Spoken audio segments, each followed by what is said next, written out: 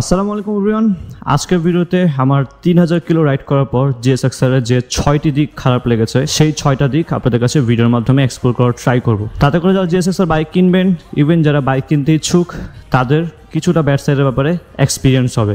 আর আমি মনে করি এটা খুব বেশি দরকার। সো একটা বাইকের খারাপ দিক এবং ভালো দিক থাকবে, সেটাই স্বাভাবিক। সো বাইকটার এক নম্বর বাজ দিকটা হচ্ছে বাইকটার পিলিয়ন সিট লাইক এতটুকু, এক হাত দিয়ে মাপা যাচ্ছে। মানে একটা চার লাখ টাকা দামের স্পোর্টস বাইকে যদি এতটুকু জাস্ট পিলিয়ন সিট থাকে, এটা তো কোনোভাবেই মেনে নেওয়া যায় না। মানে একটা স্পোর্টস বাইক কিনলে সাধারণত পিলিয়নের কথা চিন্তা করতে হয় না। বাট এইটার মধ্যে আমার কেন জানি মনে হচ্ছে, একটু এক্সট্রিম লেভেলের ছোট সিট ইউজ করছে। বাইক কিনে যখন আপনি সিটিতে রাইড করবেন, তখন অ্যাকচুয়ালি কোনো প্রবলেম হবে না। প্রবলেমটা হবে যখন আপনি হাইওয়ে রাইডে যাবেন। লাইক পিলিয়নের পিছনের প্রাইভেট পার্টটা আর আস্ত থাকবে না। একদম থেতলে যাবে।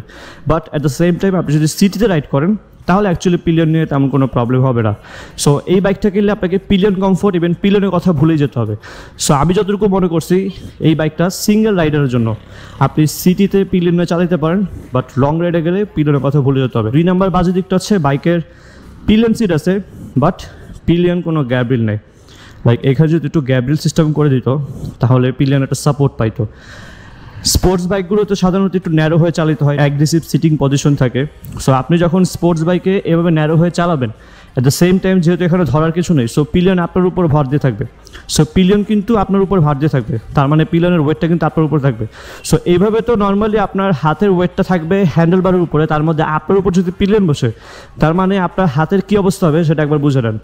বাইকটার তিন নাম্বার বাজে দিকটা হচ্ছে বাইকটার গ্রাউন্ড ক্লিয়ারেন্স লাইক পনেরো বিশ মিটার হবে না।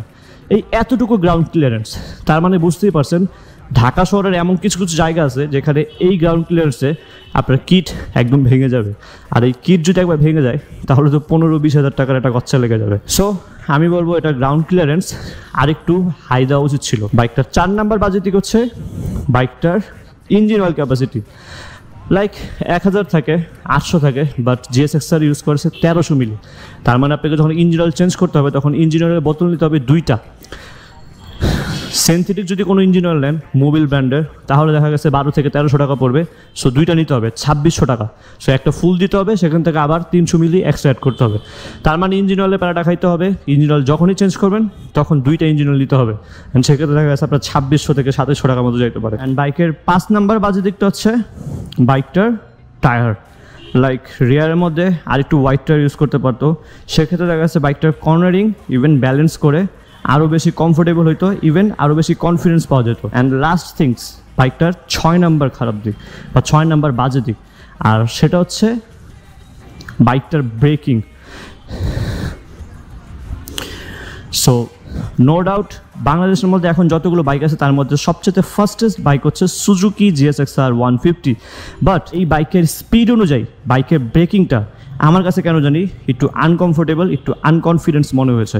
লাইক এটার ব্রেকিং স্ট্যাবিলিটি আর একটু ইম্প্রুভ করা যেত। যদিও বাইকটা নন এবিএস এবিএস বাইকে অ্যাকচুয়ালি ব্রেকিং কোনো ইস্যু থাকে না বাট নন এবিএস ছাড়াও বাইকের ব্রেকিং স্ট্যাবিলিটিটা আরেকটু বেশি জোস করা যেত।